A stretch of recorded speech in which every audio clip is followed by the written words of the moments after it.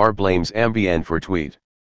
New York Roseanne Barr is partly blaming Ambien for the tweet that led to her show's cancellation, but the maker of the insomnia drug quickly retorted that racism is not a known side effect.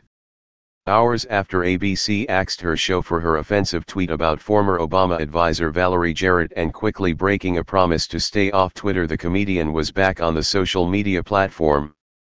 She urged people not to defend her and said of her Jarrett tweet that she was Ambien tweeting at 2 a.m. That led to the response on Twitter by the drug maker Sanofi.